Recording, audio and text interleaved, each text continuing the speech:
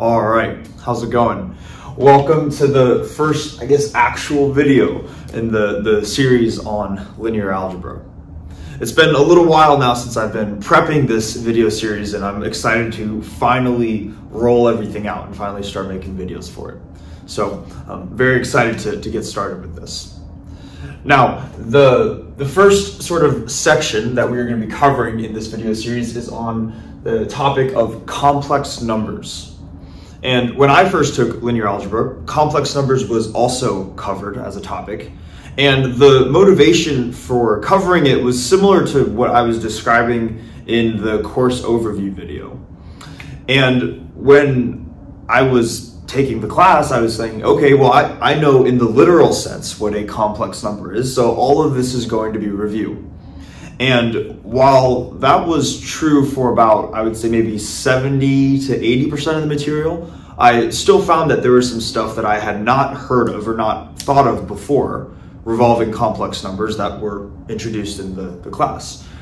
So because of that, I, that's, this is also a, a sort of uh, foreshadowing thing to, to you, which is to say that even if you feel like you know what a complex number is, and, and you if, if you feel like you do, you probably do.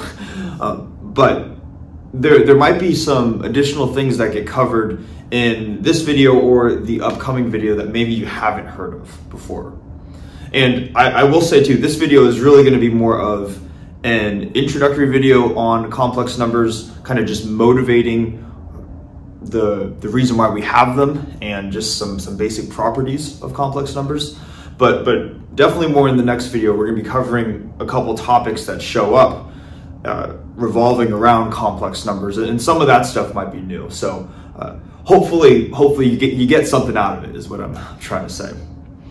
So what I want to first do is to write down just a simple equation on the board to, to really get started here. And that equation is just going to be x squared minus 1 equals 0. And we might be interested in solving for x. And this is just algebra, right? And, and hopefully we, we are familiar with how we could solve this. We just uh, essentially add one to the other side. And then when we do that, we get that x squared is equal to one. And then we say, okay, well, what number, if we, what number when we're looking for x, when we square it is equal to one.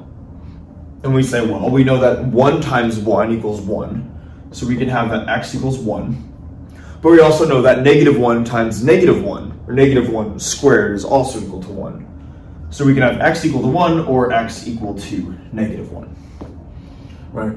And in the case where we have equations like this, where we have x squared minus 1 equals 0, we are very familiar with, with learning how to solve these equations.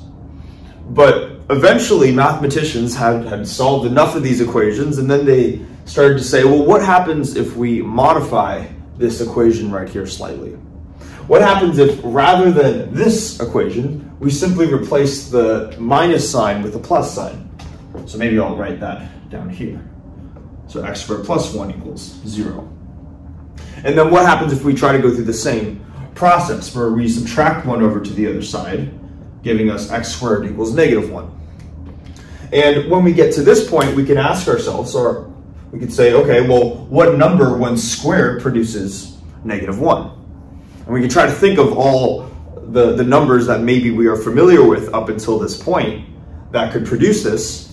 We could say, all right, well, any positive number squared is going to be a positive, right? A positive times a positive is a positive. So whatever x is, it can't be positive. But we also know that a negative number times itself, or a negative number squared, also produces a positive number. So x can't be a positive number or a negative number. And then the only other real number that is left over is, is 0. And 0 squared is 0, which is not negative 1. So it's clear that if we were to only think of the real numbers as all the numbers that exist out there, then that would be telling us that there are simply some equations, such as this one, which would have no solution at all because we just went through the case of every possible real number and can easily show that there's not a real number that's going to satisfy this equation.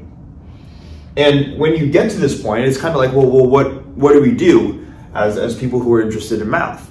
Do we simply say that, we, do we simply give up on these types of equations? Do we simply say that they just don't have a solution and leave it at that?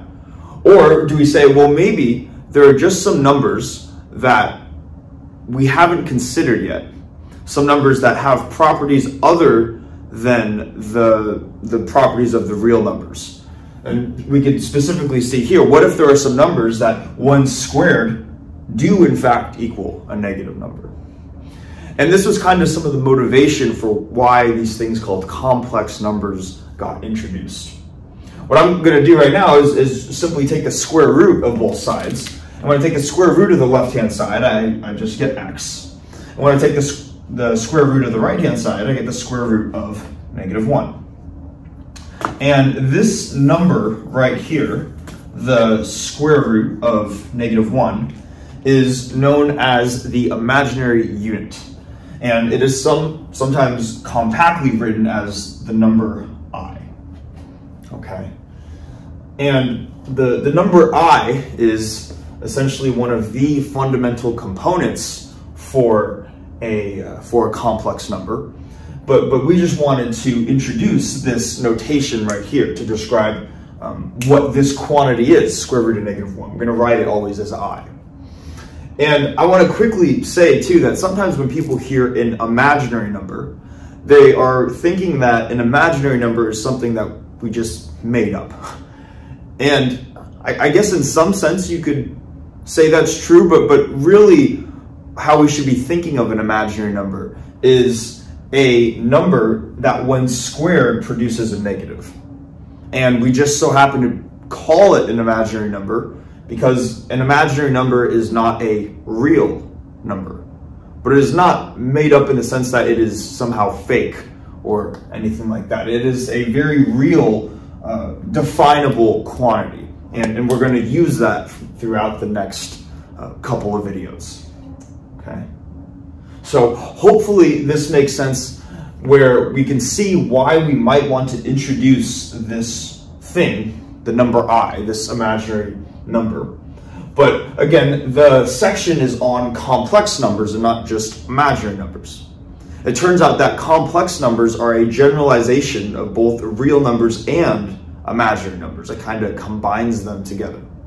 So as a so as a starting point for this video series is to write out the definition of what a complex number is, and then we're going to go through that together.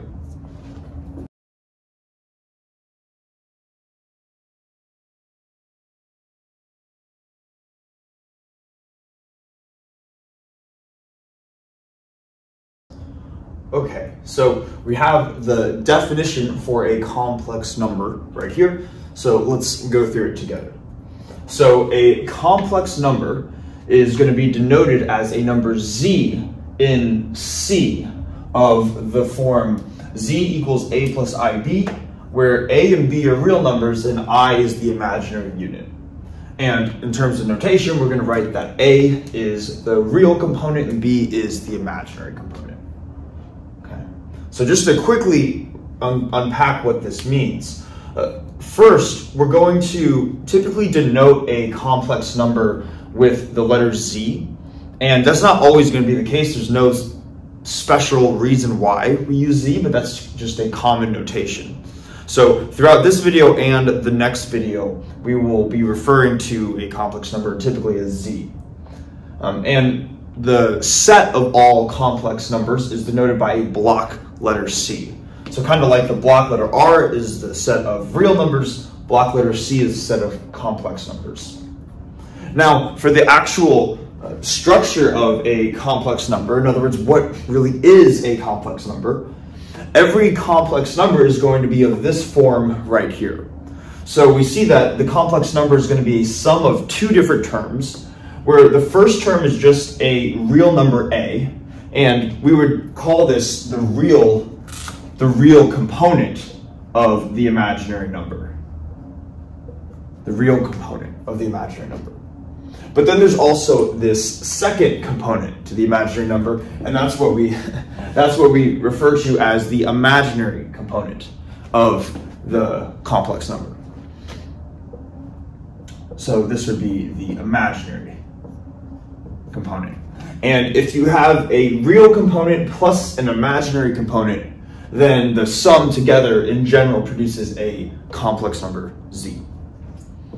Okay, so hopefully this makes sense. It kind of is combining together real numbers and purely imaginary numbers uh, into a single generalization. And I think what I want to do before we start to look at some properties of complex numbers, because that's really what this video is going to be about. In case we haven't seen this before, uh, just to make sure we're being absolutely thorough, I just want to show this really quickly. And what I want to show is what happens first when we look at this imaginary unit i and we raise i to various powers.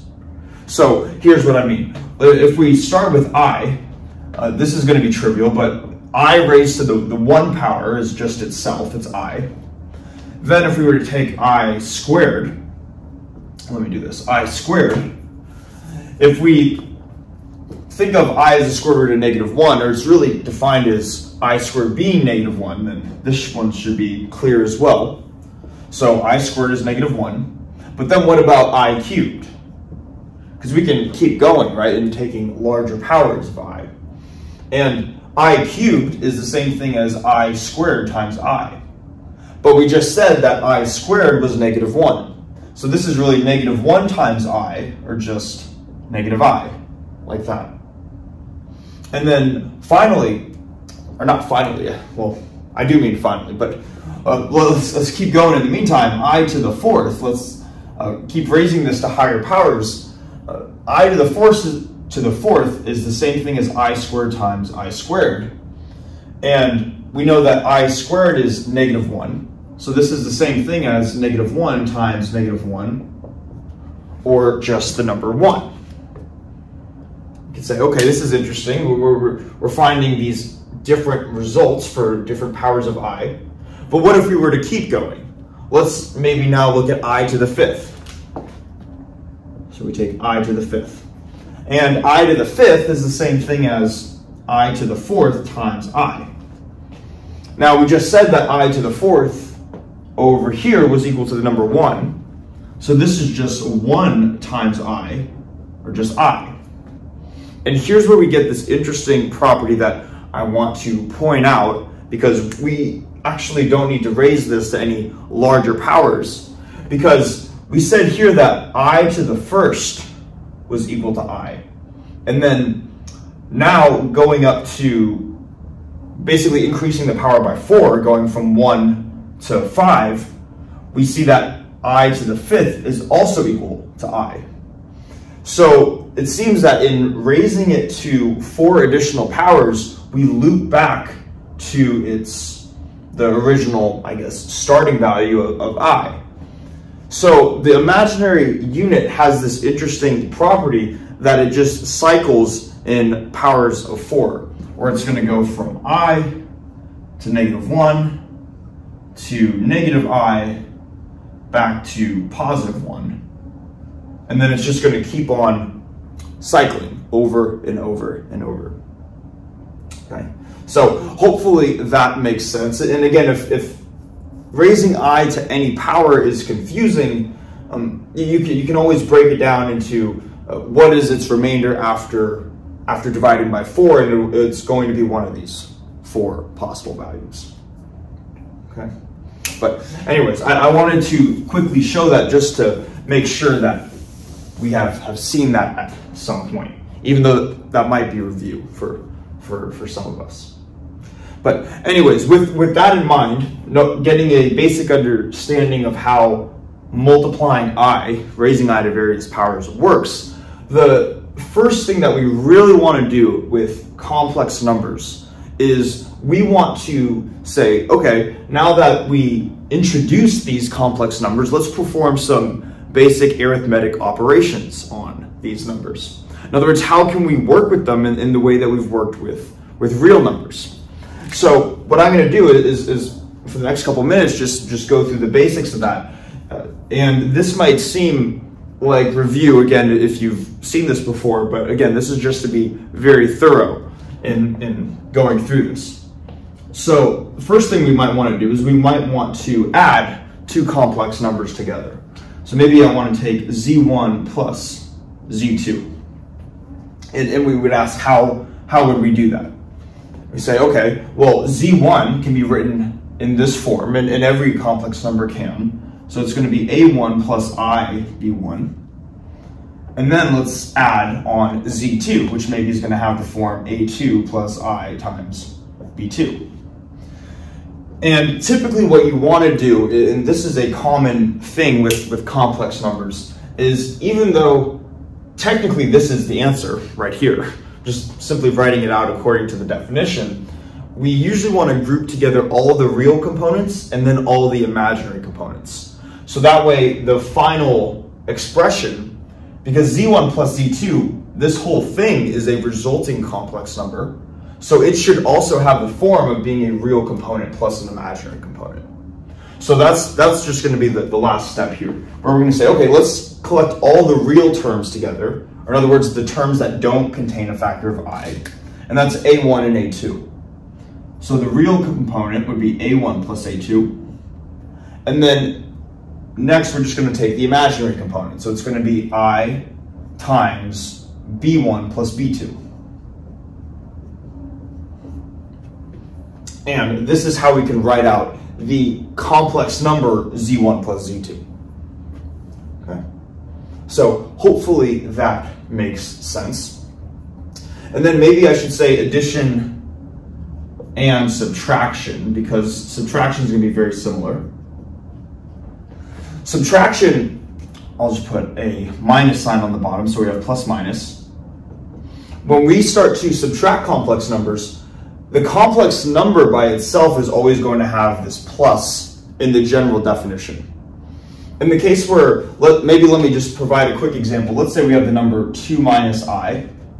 This would be a complex number where, it, it could, in other words, it could be written of the form a plus ib in the case where a is equal to 2 and b is equal to negative 1.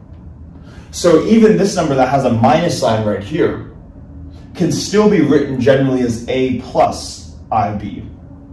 And that's important because when we are subtracting complex numbers, they are still going to have the form A1 plus IB1 and A2 plus IB2. The only thing that's really going to change is this, uh, if this was a minus sign, this would also be a minus sign. And then just seeing how this how this translates down here, this would then be A1 minus A2, and this would be IB1 minus IB2. Okay, so that is how we can add and subtract complex numbers. Now, let's keep going. There are two more fundamental operations that we are very familiar with, right? What if we wanted to multiply or apply multiplication to two complex numbers? Maybe we want to take the product z1 times z2. What would that look like? well, we would go through the same thing, right? Where we'd say Z1 is going to be A1 plus I B1, and Z2 is just going to be A2 plus I B2. And then we just expand this out. So we first take A1 times A2, then we take plus I times A1 times B2, and then plus i times b1 times a2. And then the final term is going to be, we have two factors of i, so i squared times b1 times b2, like this. And then same thing, we just want to group the real terms together and the imaginary terms together. So for the real terms, this term right here has no factor of i, so that's definitely going to be a real term. And then also, this term over here is actually going to be a real term. We might say, why is that the case? It seems like there's a factor of i in there, but i squared, if we remember, is equal to negative 1. So this is really negative 1 times b1 times b2, or just minus b1 times b2.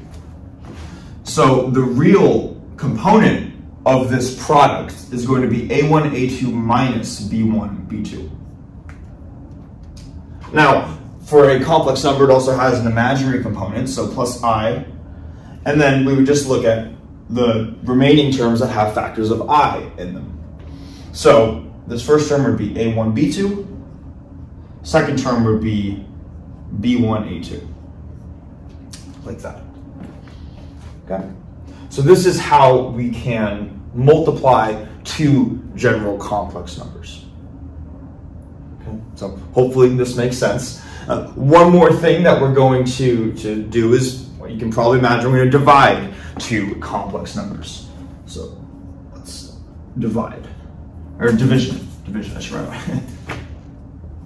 one, apply division to complex numbers. So if we want to divide two complex numbers, take z1 divided by z2. Another way of writing this is z1 times z2 inverse. Okay?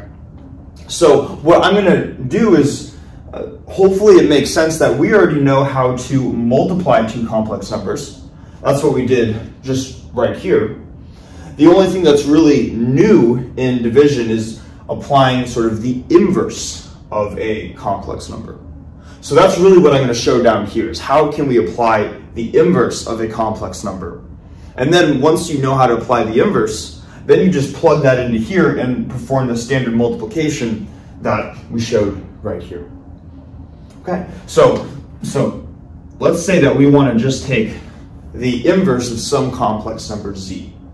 Another way of writing this is, is going to be, or, or I guess z to the negative 1 power. Another way of writing this is 1 over z, or just 1 over a plus ib, like this.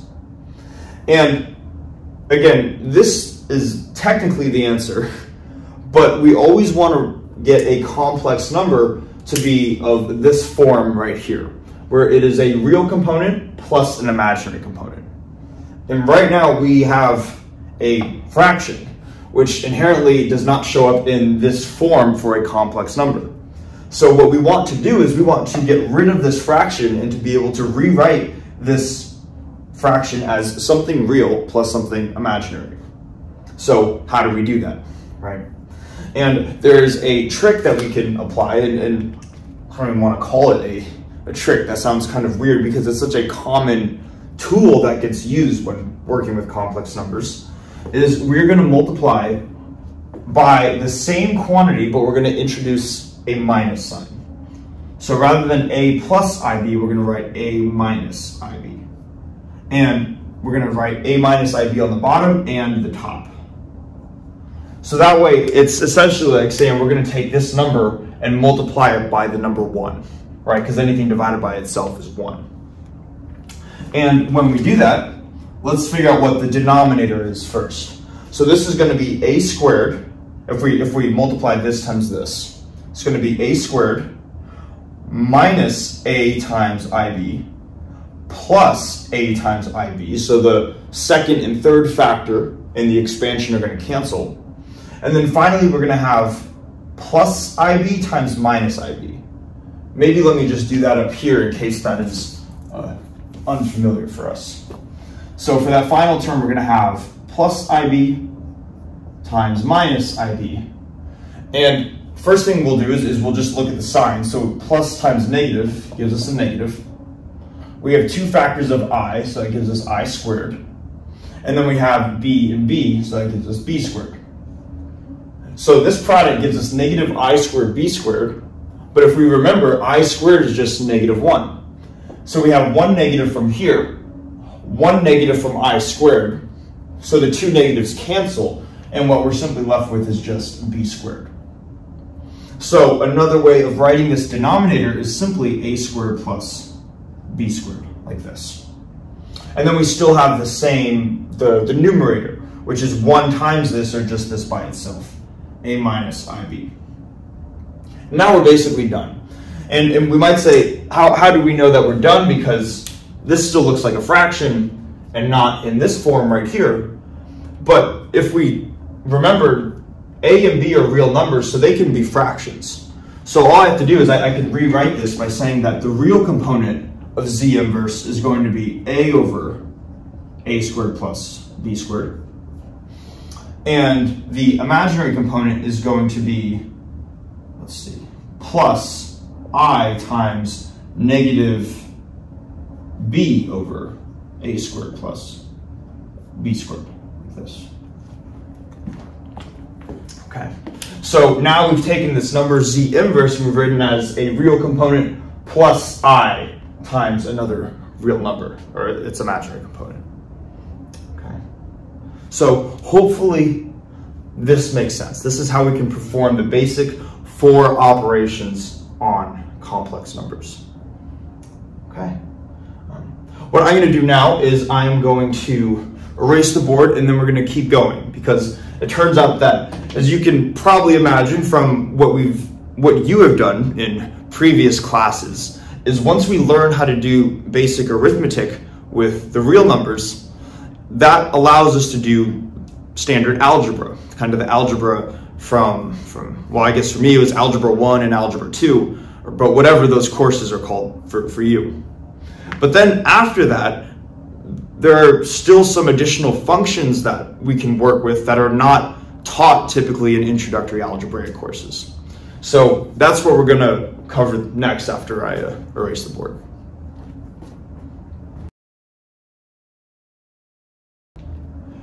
Okay, so I got a little bit ahead of myself when I was talking there at the end. But what I want to do to motivate what we're going to do next is to kind of, I guess, take a trip down memory lane and provide a little roadmap of, at least for me, what math education was up until about calculus, should say. And it's going to tie in to what, what we're going to be talking about with complex numbers next. So if you remember way back when we first started learning about math, one of the first things that we do is we learn how to add two numbers. And maybe we're gonna uh, just take an example like one plus two, right? Which is three. And addition is usually the first thing that we, we learn how to do right after counting numbers, right? We learn how to add two numbers. And then once we get familiar with addition, we learn how to subtract two numbers. But another way of thinking of subtraction is just the addition of negative numbers. So really introducing the concept of negative numbers is useful because it allows us to think of subtraction in terms of addition. The point of me saying that is some of the first fundamental operation or the first fundamental operation that we, we typically work with is addition. And then after we learn how to add and subtract, usually the next thing that comes up is, is multiplication. And then maybe I'll just draw a little arrow like this and I'll write out multiplication.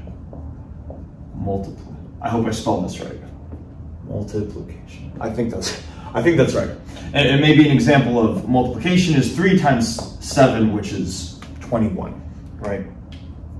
And this inherently might initially feel like a different operation from addition.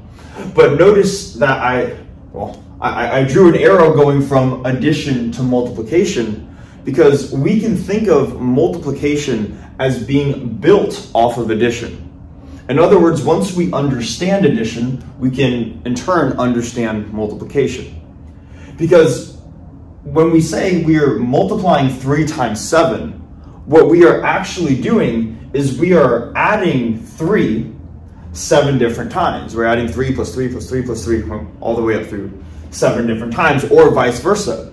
When we take seven times three, what we're really doing is we are adding seven three different times.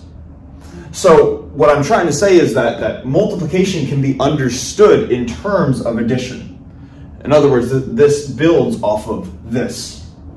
And also, the, the final operation the, that is in the four primary ones that we're used to learning is, is division, right? Where if we had and I'll erase this right after, but if, if we had a divided by b, we can just think of dividing two numbers as a times 1 over b. So division can be thought of as the multi as the as in terms of multiplication, where we have some number right here times a fraction or a rational number. So division can be thought of in terms of multiplication, which can be thought of in terms of addition. And up until this point, usually this we would call this basic arithmetic, right? And this is what we're learning um, maybe up until we're, I don't know, I think I was like 10 or 11 or something like that.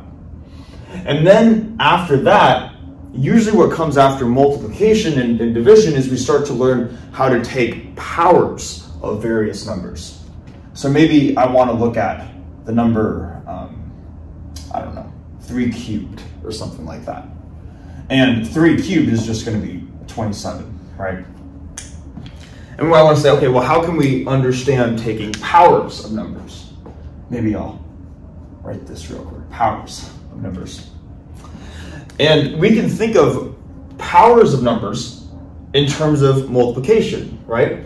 Because when we are writing out the expression 3 times 3, what we are really doing is we are taking the number 3 and multiplying it three different times, right? Or, maybe just, I, I know you, you probably know this, but just to make this absolutely clear, so the numbers aren't the same, we'll take 4 cubed, right? So then 4 cubed is uh, 64. So what we're doing when we take 4 cubed is we're taking the number 4 and multiplying it by itself three different times. So in other words, when we look at a number raised to a power, that can be understood in terms of multiplication, which can be understood in terms of addition. So it's like there's this natural progression that we go through in arithmetic, where we understand some of the, the basic operations and how everything kind of builds off of that. And now that we are up until this point, we're taking various powers of numbers. And if we all of a sudden decide to set this power maybe not to be a positive integer, but maybe a fraction, like one half, maybe let's take 9 to the 1 half, then we also get various roots. We get the square root in this case, square root of 9, which is 3. So once we have all of this framework built up in our math education, we now know how addition can lead to, eventually, we, we can build off of it to, to talk about various powers of numbers. And then this is the point where we typically start talking about algebra, right? Where we start to introduce the, the letters and the numbers and combine them together, right? Is what some people like to say. And, and algebra is about just working abstractly or more generally with essentially all these types of operations right here.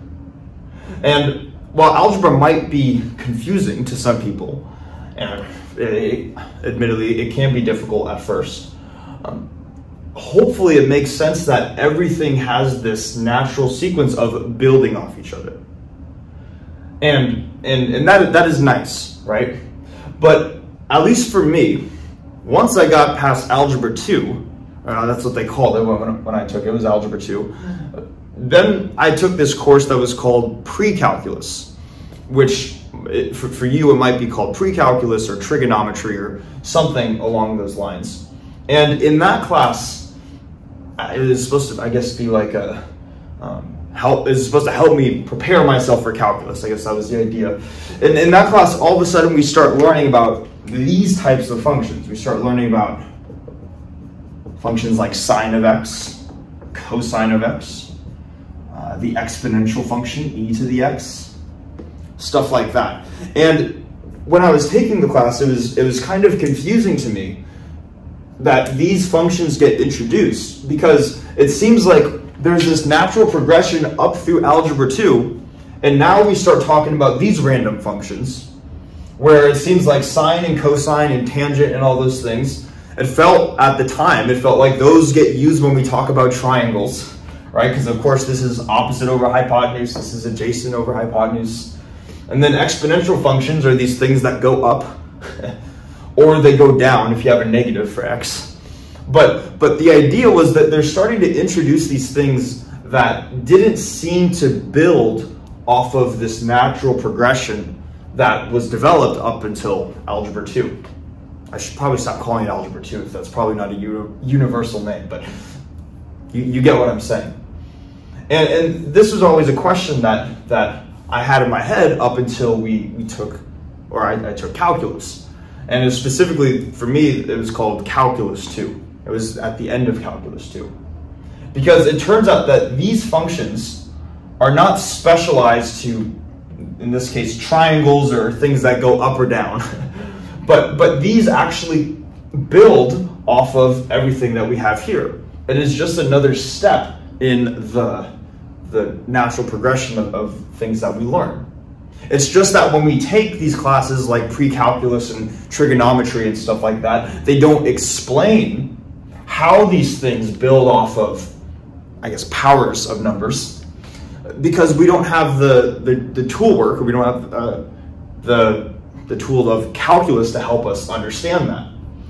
So what I'm trying to say is that if, if you've taken calculus before and you've heard of these things called Taylor series, then this you, probably know what I'm getting at. But I'm saying this because calculus is not a, a prereq for this course, uh, is that these functions can be built off of powers. And what we're going to do is we're going to be now uh, looking at these functions in terms of complex numbers. Because what we've done up until this point is we've shown addition, subtraction, multiplication, division, and then you can imagine we would, it'd be straightforward to take powers because we know how to multiply. But now I want to look at, let's look at complex numbers involving these functions. But in order to do that, we need to first see how these functions build off of powers of numbers. Or, or I guess powers of, of a given variable, in this case would be x. So what I'm going to do right now is I'm just going to write out some definitions right here. For the, cal for the people that are familiar with calculus, I'm going to write out the Taylor series for each of these. For people that aren't familiar with calculus, I'm going to just write out how these functions can relate to taking powers of a given variable. And, and then we're going to go from there.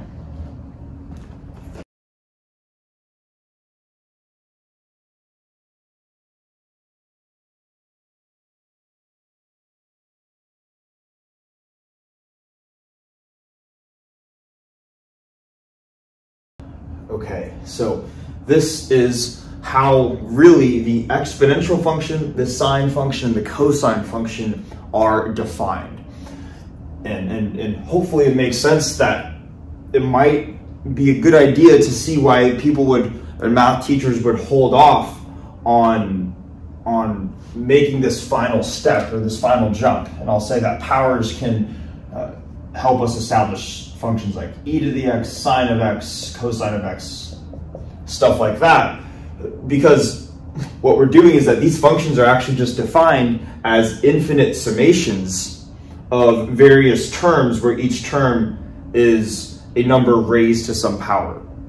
But but hopefully we see the idea how they how they build off each other. Okay. But what I want to do to sort of finish off the video, because you might be saying, why well like okay, this is this is cool to see the connection, but, but how does this relate back to complex numbers? And what I'm going to do is to look at this uh, top case right here for the exponential function. And rather than writing e to the z, I'm going to write e to the i times z, where i is the imaginary unit. So e to the i times z. So what would this be, e to the i times z? And we would say, okay, well, if, if e to the z is going to be 1 plus z plus z squared over 2 factorial plus z cubed over 3 factorial plus z to the 4th over 4 factorial plus it keeps on going, what we're going to do to get e to the iz is just to replace everywhere where we see a z with the quantity i times z. Okay? Because this is the definition of the exponential function. So we're going to start with the number 1 plus, now instead of z, we're going to write iz plus, this is going to be iz, so iz squared over 2 factorial plus iz cubed over 3 factorial plus, and I'll just maybe write out one more, one more term, iz to the fourth over 4 factorial plus dot dot dot, right? So this is how we can write out e to the iz. But what I want to do is I want to simplify this a little bit because we are hopefully familiar now with how we can evaluate different powers of, of i. And, and here's what I mean. So let's say, maybe let's bring this down here. so the, the first term is still going to be the same, right? It's just the number 1. The second term is, we can't do anything else to it, so it's just going to be i times z. Now, this third term right here, this is really i squared z squared over 2 factorial. But i squared is negative 1, so another way of writing this is just minus z squared over 2 factorial. Okay. And then for this term right here, i cubed is just equal to negative i. So this is going to be negative i times z cubed over 3 factorial. So let's see, let's write this as minus i times z cubed over 3 factorial. And then for the, the last term, i to the fourth is just the number 1. So that's this is really the same thing as just z to the fourth divided by 4 factorial. Plus z to the fourth divided by 4 factorial, like this. And of course it keeps on going, right? And what I want to, to do now is I want to cleverly rewrite this infinite summation that, that is equal to e to the iz. And I just want to kind of do what we have been doing with those standard operations for complex numbers, but we're going to collect the real terms together and then the imaginary terms together. So let's do that maybe down here. So if I look at all the real terms, I'm going to have just look at all the terms that don't have an I in it. So that would be this term, this term, this term, and it would keep on going, right? So we would have the number one, and then this would be minus z squared over 2 factorial. This would be plus z to the fourth over 4 factorial. And then you can hopefully see the pattern of the sign, so it would be plus, minus, plus, and then we'd have minus, and it would be z to the 6 over 6 factorial. Point is, it would keep on going. This infinite amount of terms would all, this would contain all of the real terms in it. So this would be the real component, and then maybe I'll just put a plus, and now we just want to write out the imaginary component, or in other words, i times whatever's left over, right? So we're going to have i times, now let's just see what's left over. So here we're going to have factor of i, and here we're going to have a factor of i. So this is going to be z. Here is going to be minus z cubed over 3 factorial. Then we're going to have plus z to the fifth over 5 factorial minus n dot, dot, dot. Okay. So now we've taken this number, e to the iz, and we have split it into a uh, sum of real terms and a sum of imaginary terms. But I want us to take a minute to see what these things in parentheses really are. Because this first term in parentheses right here, 1, wait, let's see, 1 minus z squared over 2 factorial plus z to the fourth over 4 factorial minus dot, dot, dot that's what cosine of z is. So this term in parentheses right here, this is just a long way of writing out cosine of z. Okay? So so let, let's let's let's go down here now. All of this is what e to the i z equals, of course, right? This first term in parentheses we said was equal to cosine of z. Now what about the imaginary term? i times this guy right here. Well, let's let's see. We, we have z, probably see where this is going, right? Minus z cubed over 3 factorial, plus z to the fifth over 5 factorial, minus, and it keeps on going. So it turns out that this thing in parentheses right here is just another way of writing sine of z. Except with sine of z, there is no factor of i in front, Whereas here we have the factor of i on the outside. So we just want to make sure that we put i in front of our factor of sine of z. So it turns out that e to the i times z is cosine of z plus i times sine of z. And this is a really, really interesting result. This thing right here, and I want to put a box around this. This is about what we're going to finish the video off with. This thing right here is called Euler's formula.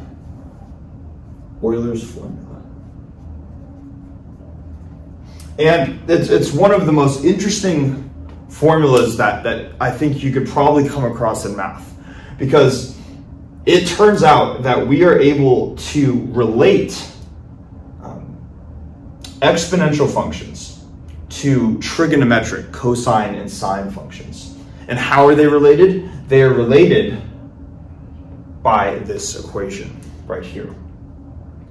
And what, what you might have seen before, because this equation shows up a lot too, is rather than just having a general number z, you could plug in really any number for z that you want. If we were to plug in pi, we would get e to the i, instead of z, we get pi. So maybe, me, hopefully we can see this down here, but we would get e to the i pi equals cosine of pi, and cosine of pi is negative 1 plus i times sine of pi, which is 0. So that simplifies to negative 1. If we were to rewrite this compactly, e to the i pi equals negative 1, we could also just add 1 to the other side. And when we do that, we get e to the i pi plus 1 equals 0. This equation right here is known as Euler's identity, which comes from the general Euler's formula. Okay. So this is a really interesting result, but I want to, to finish the video off, excuse me, to finish the video off, I want to really motivate why I think this is such an interesting result. And, and, and just to do this, I don't want to say hand wavingly, but, but with some basic sketches at least to, to make sense of this. So on the left-hand side, we have this, this exponential function right here. And hopefully we remember from whatever class we learned exponential functions in, that exponential function is going to look something like this. It's going to be a function that at the zero point equals one, and it, it keeps on going up. You can imagine exponential growth. As we get larger and larger, it just gets higher and higher up. Maybe let me just replace n equals zero. And, and it's a function that just keeps on doing this, basically. Whereas a function like sine or cosine, they're obviously going to be slightly different, but, but they have the basic property that if you were to plot them, it would look something like this. It would just go up and down, up and down, and it would oscillate repeatedly forever. So when we first, and this is what I want to get at, what we, when we first learn about these functions, the exponential function and trig functions like sine and cosine, they look incredibly different from each other. This thing just keeps getting larger and larger and larger, and it only goes up. Or if this is a negative, it's only going to go down. Whereas a sine and cosine, it just it doesn't purely go up or purely go down. It just oscillates, and it oscillates forever in both the positive and negative direction. It seems, when we first learn about these, like these functions are completely unrelated from each other. And if you were to graph them like this, it would certainly seem that way. But what this equation is doing, Euler's formula, it's saying, let's hold off on that thought that these are disjoint and say that these are actually related to each other. But in order to relate these two seemingly different functions together, we need to utilize our friend, the complex unit, or the imaginary unit. We need to utilize complex numbers. Okay, and um, the, this is a connection that, that we're typically not going to make when, when, we, when we first learn about these things, right? And just to, to, to finish off the, the video. What, what, what, I, what I want to say to relate this back to complex numbers is that this is another motivation to understand how complex numbers can be useful in everyday problems, and specifically how the imaginary unit can be useful in everyday problems. Is we see here that because the imaginary unit has the property of i to the 1 being i, i squared being negative 1, i cubed being negative i, i to the fourth being 1. that the fact that it the imaginary unit has that cyclic property, and specifically uh, it has a property where the signs on some of these are negative, or the signs on some of these are positive. The, the reason why the imaginary unit is useful is because it acts as the mechanism to alternate these signs in both the sine and the cosine terms. The reason why it can go up and then down and then up and then down and then up and then down, the reason why it can do that forever in both directions is because we're just raising the imaginary unit to various powers. There's not a real number where we can where we can do that. At least at least in terms of of, of only even powers or only odd powers, right?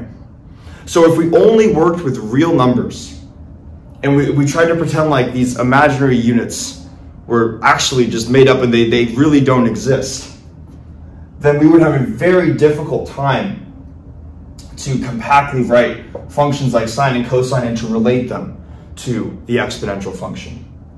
But it's but what I what I'd like to get at is, is that hopefully we can see these things as not this mysterious thing, but as our friend, because the, it, it is a tool. It, it, it, allows us to have this behavior and to have these incredibly um, interesting equations that connect things that we would have never thought would connect in the first place, and hence why they're cool and why we should learn about them. I hope this makes sense. I, I, wanted to try to convey why I think they're interesting and why I think they're useful. Hopefully that's what you got out of this. All right. But um, yeah, thanks so much for watching. In the next video, we're gonna keep looking at complex numbers and I'm pretty sure that's gonna be the last video that we do for complex numbers. Again, it's still just to introduce these things before we really jump into to linear algebra. But, but, but hopefully we, we have a new appreciation for these guys if we didn't already. So uh, yeah, thanks so much, and I will see you guys in the, the next video.